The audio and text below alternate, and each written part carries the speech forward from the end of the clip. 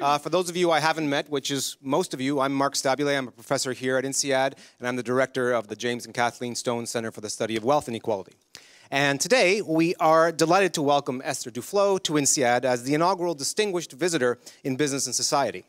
Esther is the Abdul Latif Jameel Professor of Poverty Alleviation and Development Economics in the Department of Economics at MIT, and a co-founder and co-director of the Abdul, Abdul, Abdul Latif Jameel Poverty Action Lab, which most of you will know as JPAL.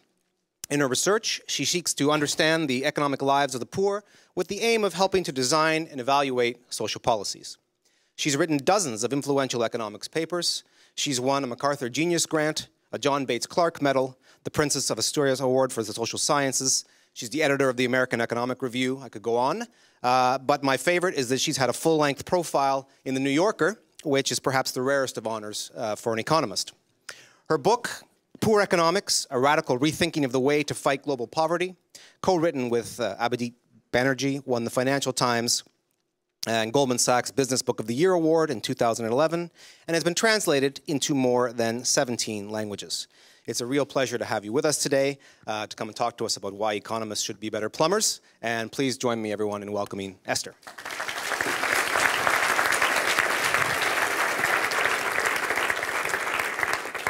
Thank you very much. Uh, it's a huge pleasure to be here. Can you hear me? Right, wonderful. So what I'm going to talk today is the economist as plumber, and I, I appreciated the intro slide, which has a, a picture of, of, uh, of, a tap, because that's about it as far as real plumbing is concerned that you're going to see, because I think of plumbing in a different way for the purpose of this talk.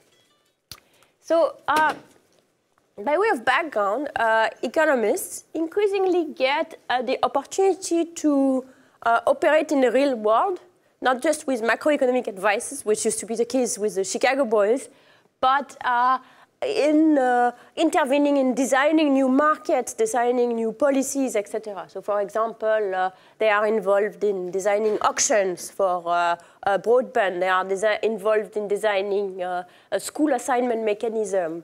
Uh, in, in my work, I'm in, involved in uh, advising on the design of some particular social transfers. And as economists do so, they must, be, they must start engaging with not only the broad idea behind the policies, for example, the broad ideas, auction theory tells you some stuff that one should do and one should do when designing an auction, but also the details of how things get implemented in practice. And there are two reasons for that, which I'm going to elaborate in great detail over the course of the hour. The first one is that policymakers don't care enough about the details. So you cannot rely on them to take that job on, to say, well, I'm giving you the broad architecture and you just figure it out later. And that would not be so important if the details were not uh, relevant. But the second part of my argument is that those details turned out to matter a great deal. So to give you an illustrative example and to have at least one example that has anything to do with actual plumbing, I'm going to uh, talk about uh, a project on uh, an example on water supply in Morocco uh, uh, that I was involved with a few years ago.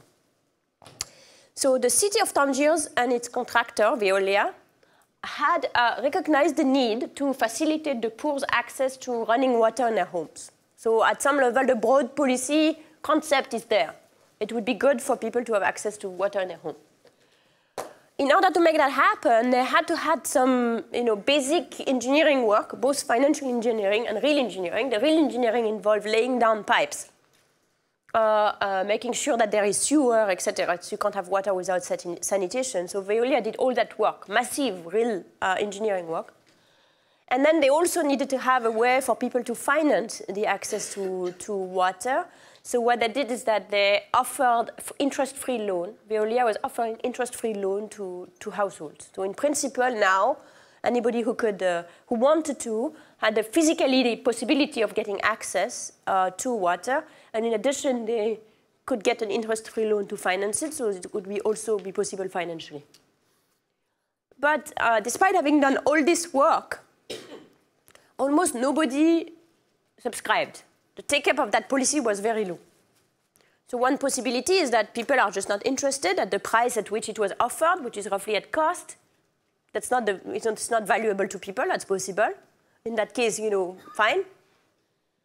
But in fact, it seems that it was not the case because what we did was to do a um, door-to-door -door campaign at people's home, in randomly selected home, roughly one house in every two houses, offering people the option to sign up on the spot, so reducing the cost to sign up. So instead of having to go to City Hall to give your uh, uh, papers, identification paper, etc., uh, our field officer would take photos and uh, transmit those photos to the City Hall. So basically make the um, uh, administrative barriers much lower.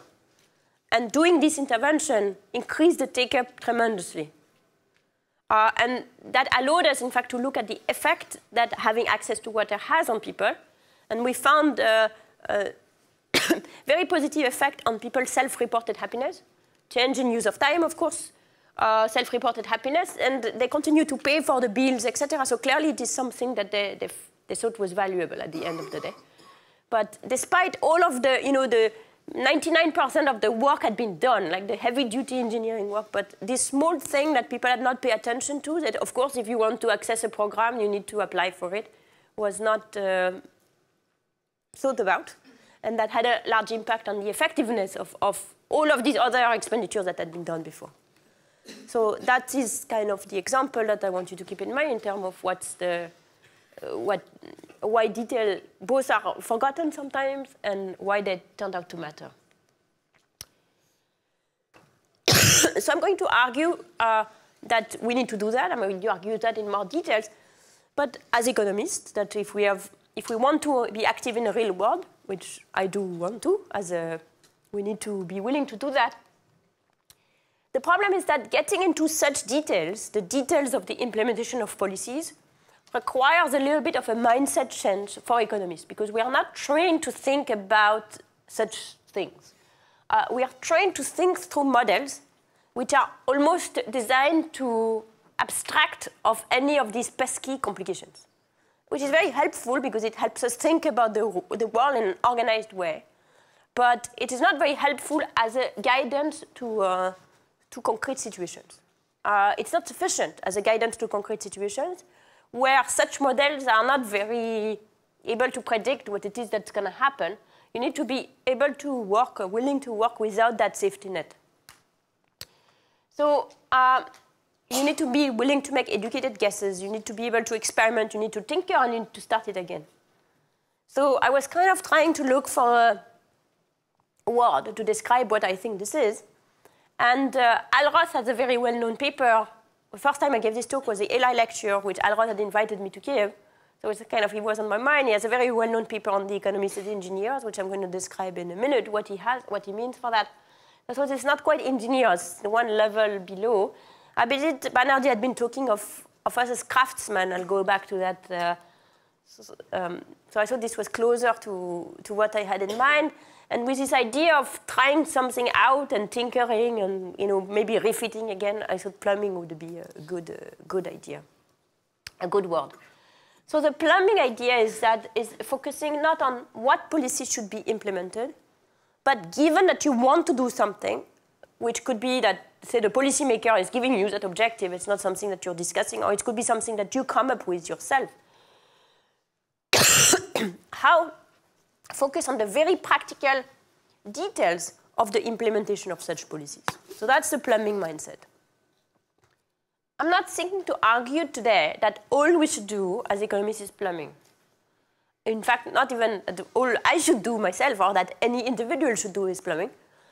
All I'm trying to convince you is that some people should do some plumbing some of the time. That is, there is some social and some scientific value on plumbing. I hope I'll convince you on the social part. The scientific part you'll see. Um, so let me give you a bit of an outline of what I'm going to talk about. I'll define what I mean a little bit more specifically by plumbing by contrasting it to two other models of what economists could be and are, scientists and engineers. Then uh, elaborate for why policymakers need plumbing. Then conditional on policymakers needing plumbers, why us? Why economists? Why not lawyers or technicians or consultants. Uh, then the relationship between plumbing and experiments, uh, which because I mostly run experiments, and then finally whether plumbing has any chance to tell us something of use to science and not just to the world. So let's talk a bit about engineer, scientist, and, uh, and uh, plumber. So Roth, in his uh, 2002 uh, paper, argued that uh, economists should be willing to, to, uh, to become engineers. He's talking about market design, so I don't know if you, how many of you are familiar with Al Roth, but he's someone who became famous for, he has a Nobel Prize, he's like that famous. Uh, but uh, uh, for designing markets, um, some, for example, one of the very famous example is a market for resident uh, looking for jobs uh, uh, in, in the US. So people finish their medical studies, they need to be matched to hospitals, and there is a market that does that. And this market has been organized by him. I'll talk to this, about this market. He organized any number of school assignment mechanism in Boston, in New York, and in uh, many other cities, they kind of help design how parents should refer their preferences and how schools can, you know, what kind of uh, software can be used to uh, match these preferences to the need of the schools. He works on kidney exchange, recently been interested in like um, market for these repugnant, repugnant markets, etc. And so he's very interested in making market work. He's not just interested in the theory of it, and he says a market design involves a responsibility for detail, a need to deal with all of a market's complications, not just its principal features. Designers, therefore, cannot work only with the simple conceptual models used for theoretical insight into the general working of markets. Instead, market design calls for, for an engineering approach. So he's drawing the, the, the contrast between the purely scientific approach, where you can start from a set of assumptions, from there you can write nice theorem that are going to give you clear prediction in some cases. And if those assumptions are not satisfied, maybe it's a mess, so you don't have a good, nice, closed form theoretical result, that's the end of the theory. I think very nice. There are, you know, he has contributed to this theory. But if you want to design a real market, that's not going to be, that's not going to cut it. Because you're going to need to, you know, address whatever is needed in that market. So for example, to, to take the example of the, the resident matches, uh, by the time he was asked to, to work on this problem, the existing resident matches had collapsed. And the reason it had collapsed is because uh, it was not able to handle couples. So couples who are, you know, as it turns out, uh, medical students spending a lot of time together tend to marry each other. So there are many people where, many, not very many, but enough people, a fair substantial minority of people who are who want to be matched in the same city. You think that's kind of a detail. It's a detail, it turns out that uh, there was no theory to, to solve it. There's no way to address this problem really in theory. So what it did is that is to try some stuff out, then simulate the functioning of the market using big computer to say this is how this market would work if I use these rules, and finally come up with a set of rules that work and satisfies good property of matching people to, to jobs in the vast majority of situations where couples can be in the same place and they are roughly happy compared to being in another situation. So there, uh, he says, well, there is this one feature that I cannot handle in theory. It doesn't mean that I don't need to handle it in practice, uh, because practice is there, and therefore I'm going to, uh, I'm going to simulate it. Okay? so this is the this is the idea. You take the, you, you, you get as close as possible to a possible solution. You simulate it out. If it doesn't work, you tinker in your lab, right? Because this can all be done before uh, things being launched. Now the plumber go one step further, which is they, they take that engineering situation, which as far as we understand the problem should work, and they implement it in reality. So the difference between the plumber and the engineer the engineer knows the problem that he's trying to solve, or she's trying to solve, but she might not have the theoretical tools to do it, so she's simulating the, the hell out of it. The plumber doesn't necessarily even know what is going to turn out to be relevant once he tries something out. For example, the engineers have been you know, working on uh, a school assignment mechanism they might have, uh, and they come up uh, with uh, uh, good systems that, in principle, uh, should encourage, should be where the best strategy for parents is to reveal your preference truthfully. Okay? So in Boston, there is a, I live in the Boston School District. It's one district for many, many schools. So I should be ranking my preferences uh, for the, the, different schools. And then, I, in principle, the optimal strategy for me is to do it truthfully. And then the you know, matching algorithm implemented by Al Roth and my colleague Parag Pathak will solve for the right solution. The problem is that, so the, the plumbing problem that uh, I have spent a lot of time discussing with Parag about is that parents do not believe that it is in fact the optimal so solution. So for example, so how do you communicate with parents to convince them that not only that, that it is what they should do, uh, how do you, how many schools should parents rank? In the optimal, in the, in the, in theory, uh, all of them.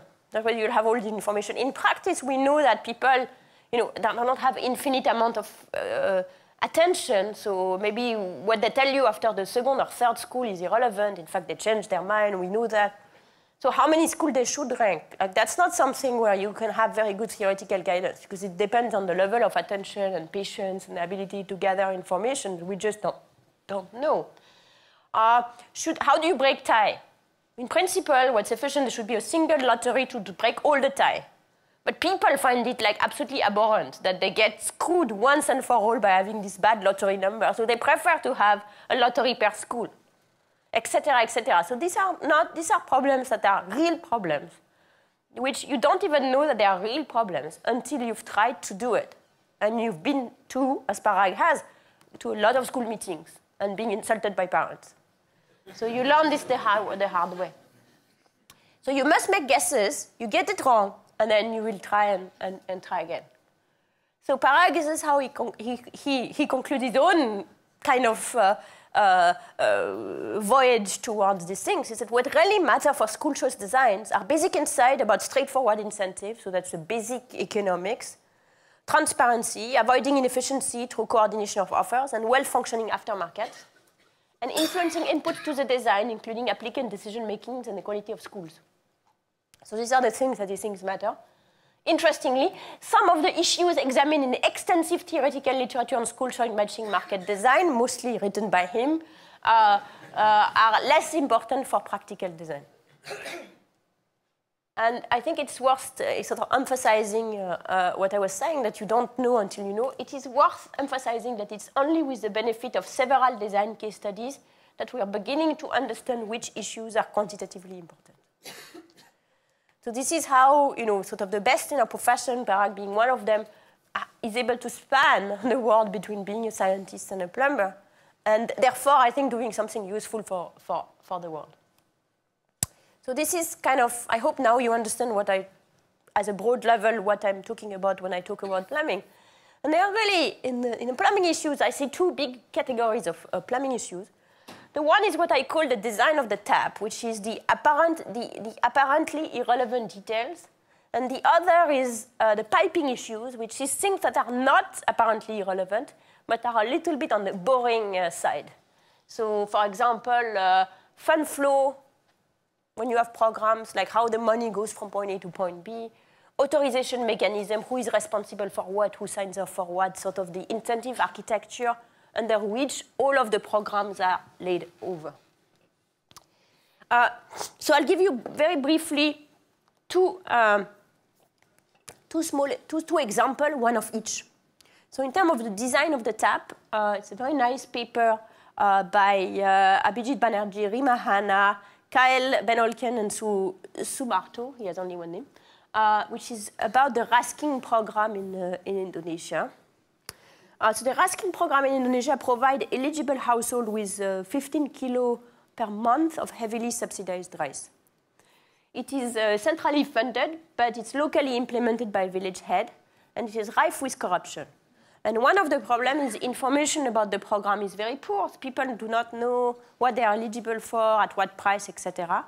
And as a result, not everybody gets access to the program, and the one who get access to the program tend to overpay. So when everything is taken into account, the eligible people receive only about a third of the subsidies that they are entitled to. So you could think of like a number of things that you could do to try and improve that. And the government was interested in one like plumbing issue, which is how about we address this information issue by providing people with a card that tells them whether or not they are eligible and to, to what. And they asked uh, Ben and Rima, who have been involved in many, many projects in Indonesia, to help them evaluate the effect of doing that. And as they did that, so that they, they, did that in the context of a large uh, randomized control trial where they selected 378 out of 572 villages. And as they did that, uh, they decided to do you know, even more detailed uh, plumbing things and say, well, let's look at a number of uh, details that one could change. So here's a card that the government was thinking of sending. So it has the name of the uh, person who gets it, etc. And I thought, well, maybe we can change the design of the card a bit. Uh, so these are two cards now. It might not be completely obvious to you, but they are different. Uh, the second card has a little number two here, uh, which indicates the price that they should pay. The other price doesn't have it. So what's one detail? Other possibility, does it matter whether you have a physical card versus receiving your, the information on a, on a list that is posted in a village? Third thing is, does it matter when you get the card that uh, it's also widely advertised that such cards has been given, such that there is common knowledge among you and the program officer that cards have been given. So not only you know that you are entitled to something, but you know that the officer knows that you know that you have received that information. Okay?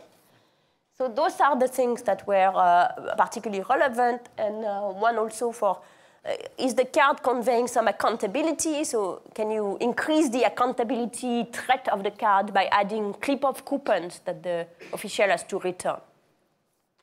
So they did that. These are all, you know, if you you know, see this one, for example, really tiny minor things in the way that already a detail is being changed. And um, it turns out that it makes a, a, a, big difference. So first of all, the card about uh, double the amount of subsidies that people got. So from one third, they go to two thirds.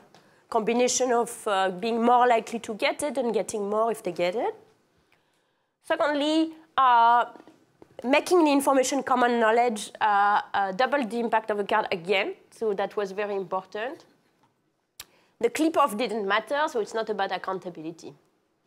Uh, so this, the, the, results, the specific results matter less than the fact that A, just giving a card without changing anything else to the program changed things, it had a huge effect, and B, the very specific details on how the card is designed and distributed also matters. By the way, because this was done in request to a government, this was scaled up uh, nationally shortly after it was finished. So this, now this card, in the best design that they liked, was, was distributed to, I think, 68 million people uh, uh, immediately after, to say that this has impact. So that's an example of you know, what you can do with, with the design of the tap. An example of uh, more uh, uh, design of the pipes is uh, a reform I was involved in in evaluating, uh, again, along with Abhijit Banerjee and Rima Hanna, and, uh, sorry, and Rohini Pande and Clément Imbert, where what we did is to work with the government on a reform of the fund flow program for a workfare program.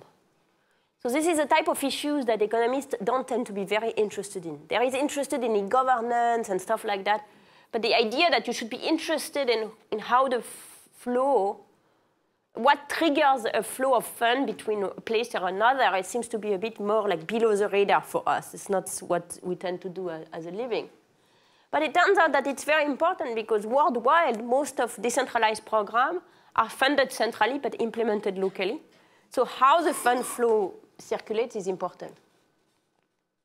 So what is typically the case in most decentralized programs that are implemented locally but funded centrally is that the low, lowest level of government, in this case it's the, it's the panchayat, uh, receives an advance, and when they are finished with the advance, they ask for a refill from their level immediately above them, which then ask for a ratification by the level above them, which then ask for a ratification at the state level. So the Indian system has these four levels. Some other system might have fewer, etc. But the point is that uh, it's kind of a cumbersome administrative process. And, it, and before it's a, because it's a cumbersome administrative process, it has to be based on advances because it takes too long to have all of this authorization. And it's not that the local government can lend the money to the government. So what happens is that they get an advance, and then they kind of justify ex post that they have spent the advance. But that doesn't, that doesn't work very effectively. Uh, so the justification is poor, and therefore the accounting is poor, and therefore that there is actually very little transparency and, and, and a lot of, and that could be responsible for a lot of leakage. So what we looked at is a reform of the system where you go from that system to that system, where now the panchayat logs in into an electronic database after they've spent the money and say, I've spent, or typically after they've, this is for hiring people. So we said, I've hired Max Stabile for two weeks. Give me money so that I can pay him. And so now with the, you know, because it's an electronic database, in principle, it should be more or less instant. In practice, it was a bit slower than instant. So we can wait till the money comes to pay him. So the big advantage of the system is that A, it removes all of these intermediate layers. B, it creates transparency because now you are you don't get an advance that ex post you are asked to justify if you get around to do it. You don't get the money unless you say what you've done with it, so that allows for direct verification. So what we've done is looking at the, at the impact of this program. And what you could see is that, so this is spending under the program. There's a lot of fluctuation, which are partly seasonal, partly due to other problems of the program. But the key is that you can see that the red line is below the blue line during the intervention period. So the places where the program was introduced, which was in about um, 1,000 uh, uh, compared to 2,000 where it was not, uh, you can see a decline in expenditure. So there you can say, well, it's maybe because the system is so new and complicated, they don't know how to use it. So we went ahead and looked at whether they do the same thing with the money that, or they do less things. And so we did a survey of people, asking them you know, how much they've worked for the program. And there you don't see any systematic difference between the treatment and the control. So basically, they spend about 17% less money to achieve about the same thing. So the rest is uh, presumably a reduction in corruption. So then we look at various things to prove that is in fact a, a reduction in corruption. The detail doesn't hugely matter, uh, but what matters is that uh, uh this thing that is, in principle, we don't spend our time thinking about, which we kind of would leave to public finance accountants or something like that, turns out to have impact on things that as economists we care about, which is incentives and accountability and corruption, and of course, eventually, uh, how well the, the, the program uh, functions. So that, those, those are examples that you can you know, keep in mind of the type of things that I mean about, about plumbing. Now, why do we need a plumber? Why can't policymakers not do it? Uh, well, they, I suppose they could do it, but they don't. Uh, they tend to not really, um, uh, that might depend on policymakers, but the one I hang out with tend to not be very interested in plumbing issues. One recent example, I spent a lot of time working on India, one recent and really egregious example was uh, the other event of November 8, uh, 2000, uh, 2016 was 86% uh, of the currency in circulation in India disappeared overnight. In that, it was declared that it was not legal tender anymore. All of the 500 and 1,000 rupees bills were declared to be illegal tender. What you could, you had till the end of December to exchange them. From that moment, from November 8, you could not use them anymore you had till December 31 to exchange them. And various ideas why you should have this program. In a sense, it doesn't really matter, but maybe it was, it was designed to, the hope was that it would root out corruption by, because all of the cash illegally uh, uh, accumulated cash would not come back, and so the people would become, the corrupt people would lose all of their money. So that was kind of idea number one. And there was other idea that it would be good to have less cash in the economy. Doesn't really matter, but that was, there was ideas of why it would be a good thing to do. But the thing is that there was absolutely zero, but I mean zero attention uh, uh, given to how it would work in practice. Uh, the, the bills, the $2,000 bills, the 2000 rupees bills that replaced the 1000 rupee bills didn't have quite the same form. They were a bit smaller. So the ATM couldn't deliver them. Uh, the, uh, uh, the banks, that, the central bank that was printing the money was not print, you know, didn't have the physical capacity to print enough money.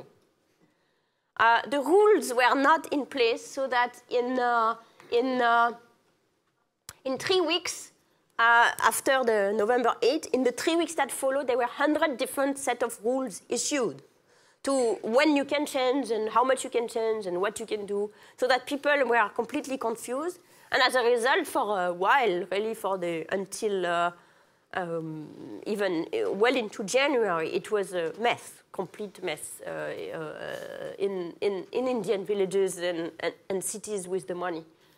Um, so it think that we have this great idea. The fact that it's, it's going to create this massive commotion in an economy of one billion people is, was uh, not really given too much, too much thought. So that's an extreme example, I think, of plumbing doesn't matter, but one that you know is kind of fixes the idea. So why it is that they don't, that policymakers don't pay attention to details? One of it is none of us really are very good at paying attention to details. Uh, we tend to, you know, economic agents tend to fail to experiment. We tend to stay, you know, we tend to have a fair amount of inertia. It's risky to experiment. You have something that works more or less, you might as well stick with it. It's also difficult uh, to, uh, to, uh, to, to, pay attention to so many things. And, uh, us, again, not just policymakers, but us in our lives, when we have so many things that we need to take care think about, we, we will tend to focus on a few dimensions.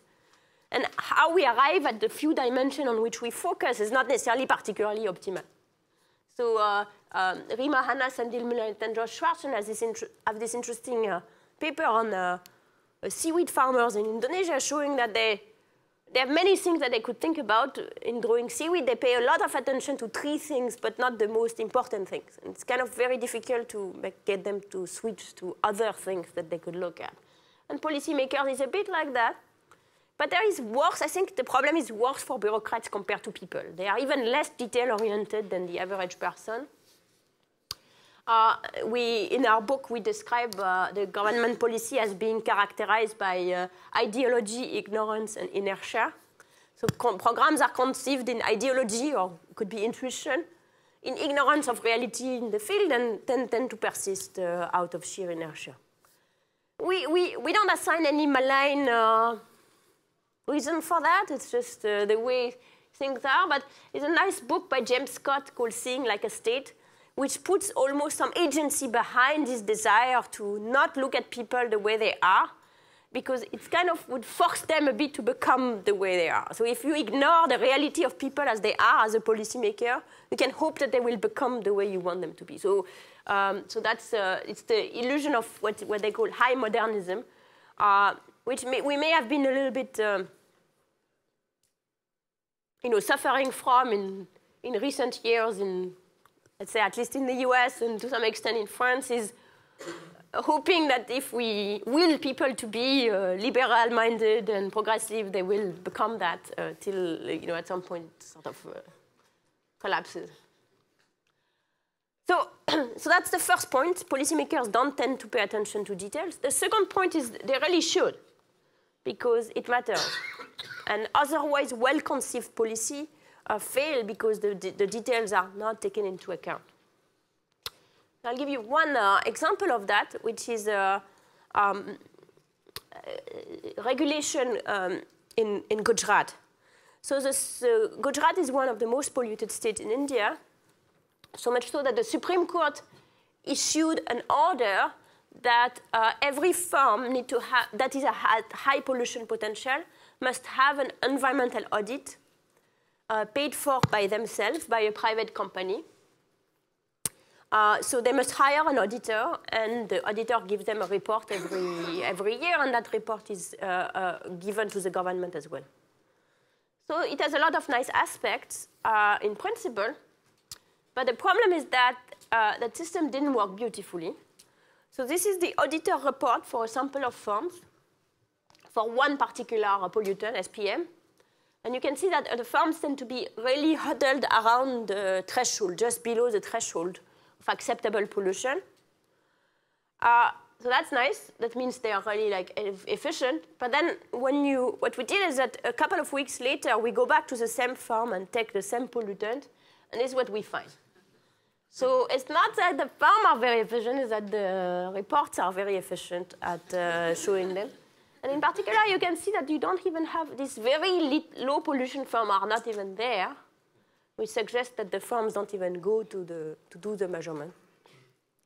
So what happened here well, they fail to take into account conflict of interest. Uh, if, you, if the firm pays the auditor, the auditor is going to feel that they might as well give them the report that they are expecting. Very much like you know, when we were talking after the Enron scandal or the 2008 crisis of the problem with corporate auditing and, uh, and uh, uh rating by agencies. So So on the one hand, so that means that, you know, on, uh, it's a bit uh, sad because it means that even in good environment where you're really trying to do something, if you don't get into the account the details, you can really completely fail in your policy.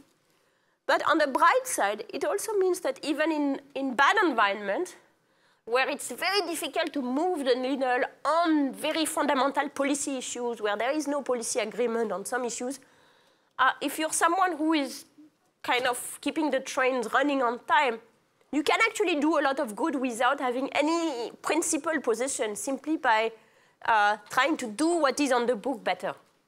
So there is, in fact, substantial scope for action, even in bad policy environment. So people talk about the importance of institution, and I'm the first to agree. But it, this, the fact that plumbing matters so much, and even the most well-intentioned people don't pay attention to plumbing, is that when you don't have someone who is well-intentioned at the top, but you still have the machine in place, you can just quietly, quietly make it work better. And I had a lot of conversation with Cass Sunstein, who was working at OIRA, the Office of Regulation in the Obama administration. And there was a moment where there is very little they could do. The government, the Congress was completely obstru obstructionist. There is very little that they could, you know, effectively do except uh, issue new uh, executive orders. But one thing that they did is just to try to make the existing things work. And sometimes this has huge consequences. So for example, I won't get into the detail because we don't have a lot of time, but there was a, a regulation called uh, uh, free lunch certification, uh, which, uh, which um, uh, basically the idea is that, in fact, it was decided under Bush, I believe, in 2004, that uh, if a kid, uh, if the parents of a kid are eligible, say, for food stamp, the kid should be automatically eligible for free lunch. So that was there. But then, in order to go from this principle to doing it in practice, need, there is a number of steps that needs to be taken, which were only partially taken, etc. And what they did in 2012, 2013 is really automatize the process and at the moment where the Republicans were uh, everywhere talking about deficit, that was a different time, I suppose, um, the 12 million kids got certified in the free lunch program without raising anybody's eyebrow because there was no debate, because they were just implementing something that was already on the books. So this is why you need the plumbers uh, to make sure that the, the, the good, uh, that in good environment you achieve what you want to achieve and to continue to do stuff even when the political situation is not great. Now, why us? You think, well, it's like, why, why, why an economist? Why not a lawyer? Why not someone who knows uh, other things better? And I think economists make good plumber. Have reasons, there are reasons to think that economists make good plumber on, not on everything. There are some issues that are really are not economic issues and should be dealt with by other people. But there are some issues where we happen to have some skills. So this is where we, you know, we go back. This was the idea on uh, the already uh, Banerjee's idea on economics as craftsman is that, you know, we have, there are things we understand.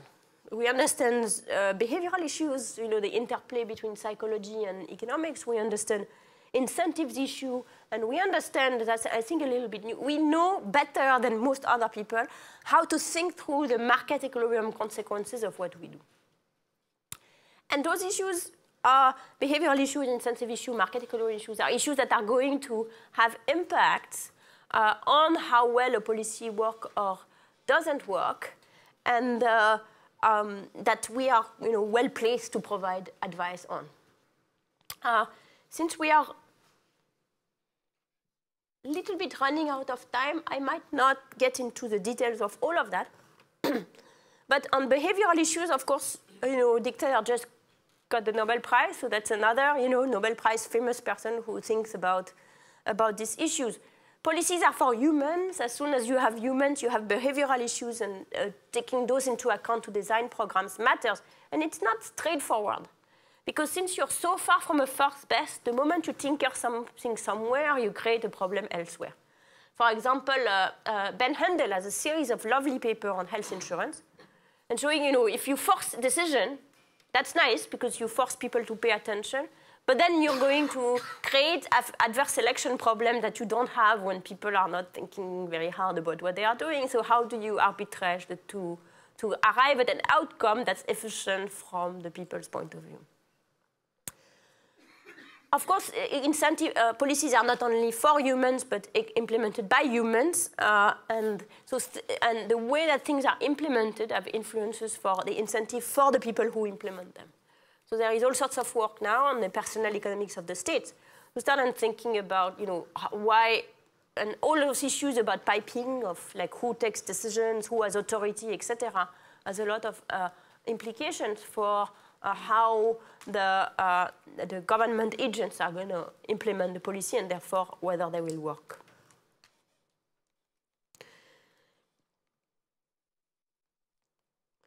Now, we are saying in the business school, often the, the, people who are trying to act on our firms, firm maximize profits. Uh, and under, you know, economists are pretty good at understanding these behaviors, and therefore uh, uh, they, the firms will tend to find every loophole they can in regulation and uh, incentive, and economists can be pretty good at thinking about that and thinking about how to design the regulation to avoid the gaming. So to give you an example of that, that continues my uh, conflict of interest example in environmental regulation. The reason I know this thing on environmental regulation in Gujarat is that I was involved in a project where we helped them reform their system. And we told them, so we knew that there was a conflict of interest. That's why we collected the data that we collected, so that we could show it to them. But it was pretty obvious uh, that there would be an issue. And so we thought, okay, fine, let's just change the system to try and break the conflict of interest. And there we didn't have to invent it because we, you know, this had been discussed in the context of financial regulation. We just had to, you know, apply our basic economics knowledge to how one uh, uh, does the system. So we proposed random assignment of auditors to firm. The firms pay a pool that pays the auditors, and the, and the auditors are back-checked. So now the loyalty is not to the firm, but to the auditor, and we have an instrument to monitor that this, uh, that this behavior is adhered to. So this is what we had in the control group, and this is a treatment group. Well, this is now a treatment, uh, uh, the, what they report and the back check. So this is uh, control and treatment. And you can see that now the treatment is much closer to the truth. It's not quite there, but it's much closer to the truth than in the, than, than in the basic system. Uh, so I, am not saying that nobody but an economist could have thought of this, but it's pretty natural for an economist to think of programs like that. We, are we have, that's where the training the, does come in.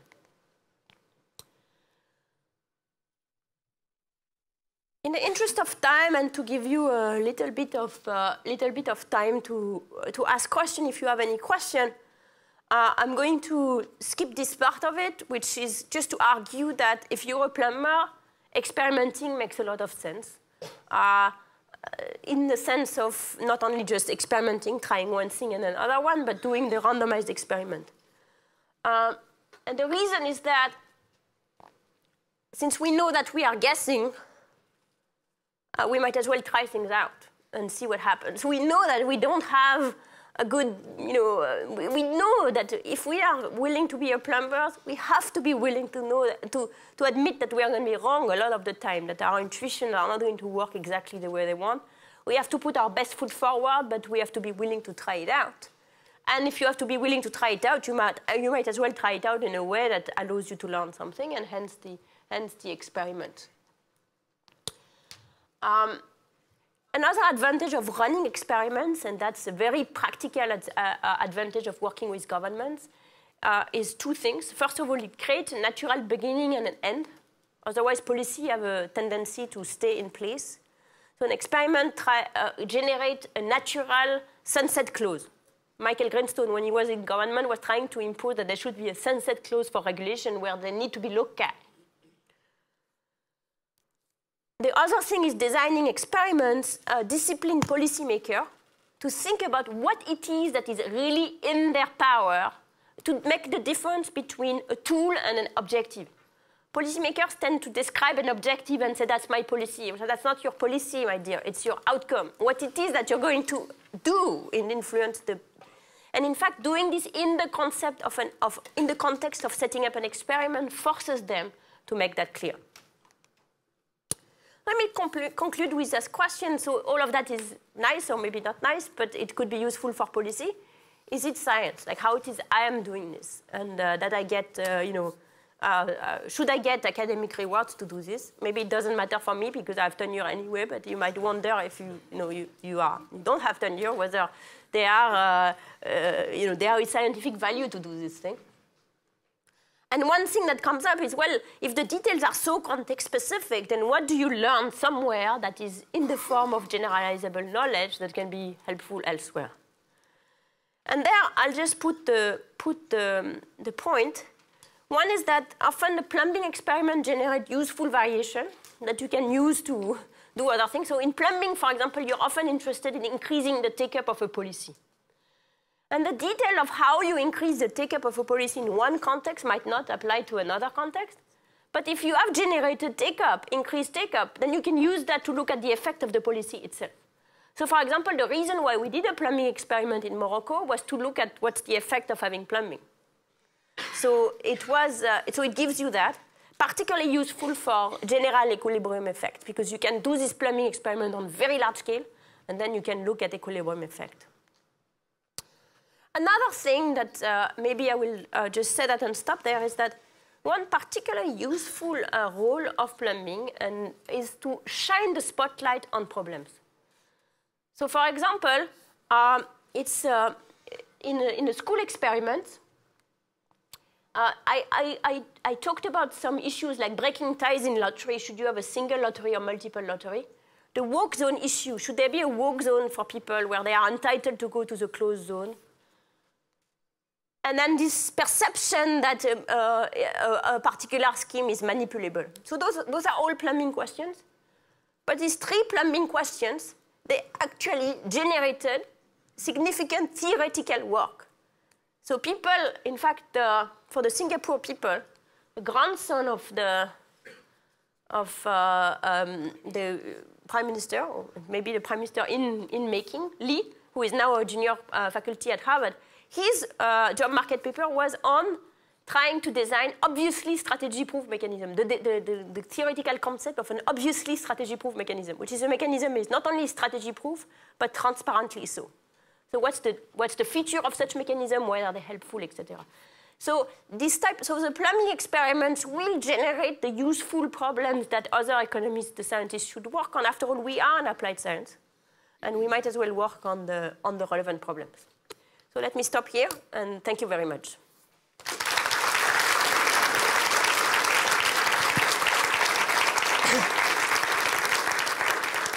So I left about eight minutes. If I'm we have a few minutes for questions, uh, and people can come around with the microphones. If you put up your hand, I see one. You can belt it out.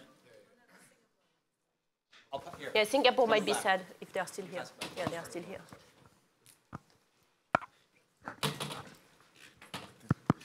Thank you.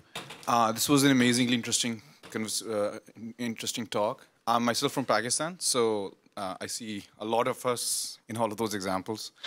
But like my first question is, uh, do you do you do you think that businesses themselves can actually be good plumbers because businesses are designed inherently to be always looking for operational efficiencies, always tinkering, right?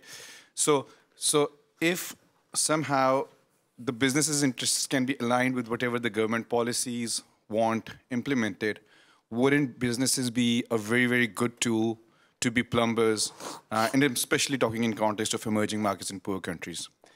My second question is, um, so for example, uh, in a country like Pakistan, middlemen have a lot uh, have a lot of force, right? Because the government structures it themselves are pretty weak. Uh, so they, so the bro the brokers, uh, let's say in uh, in wheat farming, right? So between the farmers and the end buyers, the middlemen have a lot of power, almost like a mafia. So when you decide, even when you become a plumber and you're tinkering with the models, there will be like a very very strong resistance from the existing cultural norms and the models that are already available. Might not be a government model, but that's how the society has been set up, right? And in that case, uh, an economist or a government policymaker or whoever, uh, wouldn't this plumbing and tinkering be very, very difficult in like in absence of a strong government structure? right. So on the on the first question, um, so first there is this question of whether businesses are better uh, and are good at always getting it right and tinkering, etc and I think they are better on average because they probably they don't they, they have they don't have the seeing like a state problem, but I think they are not necessarily always perfect. So even businesses get it wrong. Take the Veolia example in Morocco. It was a business that has completely not seen that they needed to to do one more step in order to justify all the engineering expenditure they had done. So in fact, the, the, the, most modern business, Silicon Valley, etc., they tinker all, the experiment all the time. That's A/B testing. But the, the, in the sort of regular businesses, uh, there are not as many. I think they are sometimes further than the uh, of the efficiency frontier than you might uh, believe. So that's just a gen. And I think this maybe is changing under the influence of A/B testing, where people feel that oh, we could try more things and we could experiment. And, but I think there is often a lot of margin for improvement even there. Uh, um, then, well, you know, in, in, some cases, they could intermediate with government. That's a separate question. I think that depends a lot of the problem. On the question of the resistance, uh, so it, it is in general something that is asked often, which is, oh, it's very nice to look at the effect of this policy and that policy, but isn't everything determined by institution and norms, etc.? To be honest, it's precisely the existence of plumbing that makes me think that, uh, in fact, that's not the case, which is even when, the, I think in, in, in, some cases you're right, there is a constraint and we hit a snag. For example, in, in India, when we changed the corruption by changing the fund flow, the district officials were so upset that they managed to get the program removed. So, uh, you know, we did hit that problem. But in the other hand, since we showed the effect on the, on the FISC, we managed to get the program scaled up nation, nationwide. So there is, a, there is that fight going on, political fight. But it is also the case that in a lot of cases, everybody is in principle aligned to arrive to a given objective. It's just, uh, you know, it's more about competence than about deep, fundamental, anti-poor conspiracy. I do believe that sometimes that's the problem, but often there is a lot of things we can do even within that, and uh, sort of taking advantage of those gaps is something that, uh, that, that I would like to, to encourage. I think we have time for uh, one or two quick questions. So we'll, we'll start there, and then... Uh, Maybe I can just uh, collect the question and, and give one to people collect like three questions. Okay. Is there a microphone anywhere near there? He has a microphone, so in the meantime you can... Why don't we start with yours? Sure. Thank you. Um, so um, um, my name is Mohammed Ashkar. I'm from Saudi Arabia and previously worked in the Islamic Development Bank. And we um, we implemented some um, you know randomized trials, experiments, and so on on some of our projects to find out whether they were um, impactful or not. Now the problem we faced is that in almost every time we come down to randomized trials, we face the issue of budgeting. Of what? Budgeting, because it is really expensive to actually segregate uh, different villages and take samples from here and there and then start doing surveys over and over. It is uh, A, costly, B, most of the countries or governments would eventually resist that, that implementation because it's just too costly. Um, so has, has, has, so my question is, has there any work that uh, that was done to basically reduce the cost of these experiments? Was there, for example, a usage of big data or um, some something like you know more of like uh, efficient way to collect data at a low cost than the the usual you know surveying and so on.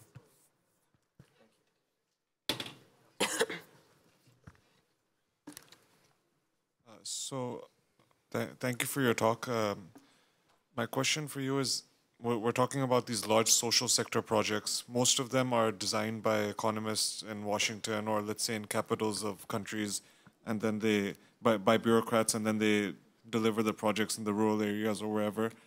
How do we convince the IFIs or the governments to, or the economists who are designing these projects to stop or be, become more plumberish instead of just being scientists or engineers? I mean, uh, how do we actually implement this in, in, in real life uh, scenarios?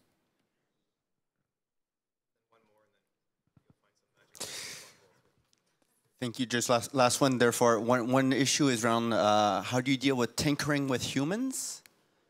Uh, so the aspect of, you know, do no harm, and therefore how do you tinker with humans? And the other aspect, which is how do you reward the tinkerers? I, uh, we're recognizing the, fallibility, uh, the fallibility of government, and therefore saying we, we don't have the best practice, and therefore we're going to test as we go along. Thank you. so on the cost of uh, RCT, uh, it's funny because uh, this question used to be asked a lot, like 10 years ago, and it sort of uh, disappeared. So it's, uh, it was backed back for. It's not more expensive to do an RCT than to collect data for anything else. Uh, but then at the end of the day, you're going to have data that you can actually use for uh, uh, providing you with, with uh, reliable, reliable evidence. So the, the, the, the, issue of the cost is, is not that large because it's, it, I mean, it's, it, at the moment you want to collect data, that's going to cost some, some money for sure. But so much data is being collected. Almost all governments have at least 1% of their budget devoted to evaluation in their and then this 1% of the budget, 99.9% is wasted. so we can just, we, we don't need to increase the 1%, we just need to spend, spend the 1% better. So that said, I think your point about using administrative data, using big data, that's definitely there. And there is a lot of effort now to use existing administrative data better and to collect new data if it needs to in a more efficient way. People use phones, people use, in a lot of what I, I showed you, for example, the the, the, the project in Bihar on corruption, it was almost only administrative data. And then uh, we matched it to a census that they were collecting anyway. So it was all kind of the cost of the data collection was very, very limited. And there is much more work along this direction, and there should be much more work on, the, on this direction. And in general, I think governments start seeing the need to be more transparent about their data and have more data out and researchers looking at it. So I think that's a very good way to think about in terms of the, the, the, capital, and, uh, and I, I, think you're completely right, and this is kind of one reason of the three I. Uh, less so, you know, Washington than, you know, the capital of the developing countries, uh, where people just do not get out ever. So in Delhi, they sit down and they think about the dream person, and they design a policy for the dream person, and the nurse needs to be uh, in the center and in the village and in there and in there, and they've never gone out and they don't realize what it involves to go from you know five kilometers by foot when it's 100 degrees. So, um, and I think that uh, the, the involvement in uh, in uh, in evaluations and in randomized control trials helps a little bit because it, it puts people, this is what I was saying about the, the difference between your dreams and the instrument that you have in mind. So your dream might be there should be a nurse available for every person who has a headache so that they can get, uh, but that's not an, an, an instrument. If you design a policy, you can just write it down. If you start saying, well, you know, we're going to have, you know, evaluate something that you that's not, it can't possibly be the instrument that you're going to put in place. So that helps a little bit in getting people more, uh, more uh, involved in the details. But you're right that it's, it's a bit of an uphill battle because that's not the culture.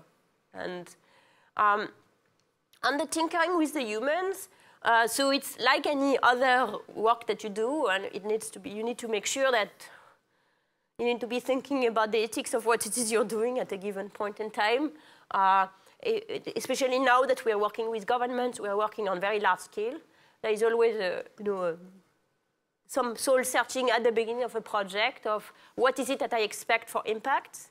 Uh, do I expect any uh, possible negative impact? If I expect negative impact, how would they be managed? Or if there are too many negative impacts, then I'm not going to be involved in doing research on that. I mean, that's the only thing you can do. Okay. Thank you very much. We are out of time, so we can't take any more questions. I have just very two quick things. The first is to publicly thank all of the INSEAD staff who helped pull Esther's visit together. You guys did a great job, and it was a tremendous amount of work, so thank you. Uh, the second is normally we would now give you an INSEAD baseball cap that you can wear around to thank you for visiting, and we can still get you one if you want one. But instead, the uh, Dean of Research has actually generously allocated a fund of 10,000 euro to uh, go towards seed funding for poverty alleviation projects based around the ideas of your work. Uh, and we hope the INSEAD community will take advantage of that and uh, be inspired by you. Thank you so much for coming and speaking with us today.